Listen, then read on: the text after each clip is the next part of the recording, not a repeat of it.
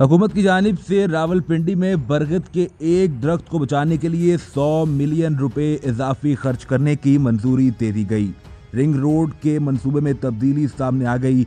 इस मंसूबे पर काम करने वाले इंजीनियर ने बताया कि रावलपिंडी रिंग रोड पाकिस्तान का पहला मंसूबा है, जिसमें एक दरख्त को बचाने के लिए इस रोड के डिज़ाइन को तब्दील किया गया है। इस मंसूबे पर काम करने वाले इंजीनियर ने बताया कि 100 मिलियन रुपए इजाफी खर्च करके इस दरख्त को बचाया जा रहा है और अब ये मंसूबा पुराने दरख्त को काटे बगैर मुकम्मल कर लिया जाएगा।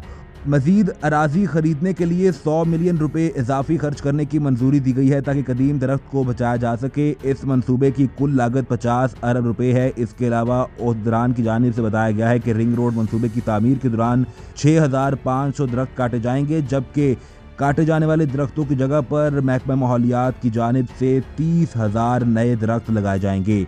बताया गया कि रिंग रोड मंसूबे की तमीर के दौरान नहरों, मनाजिर, झीलों और आबशारों के तहफ़ के लिए छः अरब सतर करोड़ रुपये रखे गए हैं। इनकी खूबसूरती को बढ़ाने के लिए भी मजीद इकदाम किए जाएँगे ताकि इस मंसूबे को माहौल दोस्त बनाया जा सके।